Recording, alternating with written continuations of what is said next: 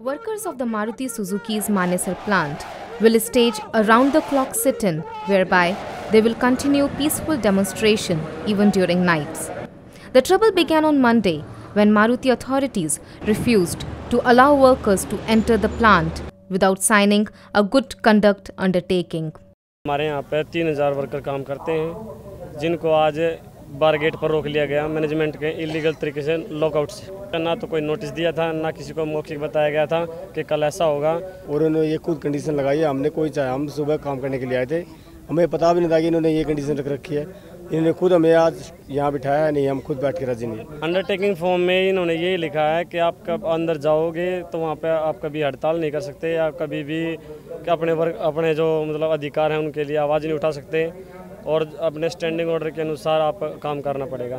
Police की पाँच जो बसें हैं वो आई हुई हैं और वो कल दोपहर की आई हुई हैं। और 500 से ऊपर दिन के सिक्योरिटी गार्ड हैं। दो दो इन्होंने ग्रुप ले रखे हैं। और सिक्योरिटी गार्ड बाउंसर हैं। जो वो ड्रेस में है सिक्योरिटी गार्ड्स की। ये जो है मारुति की बहुत पुरानी नीति है। ये मारुति की एक चाल है जिससे कि 2000 में सन 2000 में मारुति ने पहले भी यूज़ कर चुकी है और इसका बेनिफिट इनको मिला है।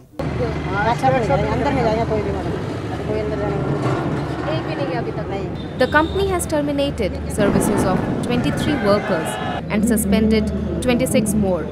This is in addition to 8 terminations in the last 3 months. जो पहले आठ लड़के सस्पेंड हुए थे उनको मिलाकर हमारे जितने भी यूनियन बॉडी मेंबर थे सारे सस्पेंड हो चुके हैं It must be recalled that the workers of the same plant staged a 13-day tool down in June. They were demanding an independent union separate from the union co-opted by the Maruti management. हमारा शोषण हो रहा है पूरी तरह से शोषण हो रहा है और हम इसलिए अपनी यूनियन हम अपनी अलग से यूनियन चाहते हैं हरियाणा सरकार ने मेजोरिटी ऑफ़ द वर्कर्स के द्वारा हस्ताक्षर शुदा यूनियन जो प्रोसीड की थी रजिस्ट्रेशन के लिए बहुत ही दुर्भाग्यपूर्ण ढंग से हरियाणा की सरकार ने लेबर डिपार्टमेंट उस यूनियन के कागजात रद्द किए A Maruti official told us that low productivity and degraded quality of work is the immediate provocation for the latest decision. The official stated that the workers have malicious intent to sabotage quality production and the company cannot compromise over quality. The workers and trade union leaders, however, have a difference of opinion.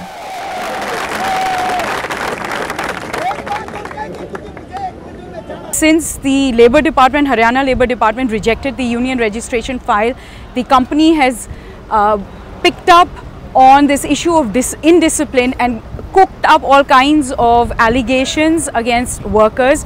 In the last one month alone, they have issued 18 charge sheets, 8 suspensions, 29 advisory letters, 30 warning letters. Today, there are another 15 suspension letters and this lockout. This is nothing but a continuing attack on the right of these workers to form their own union.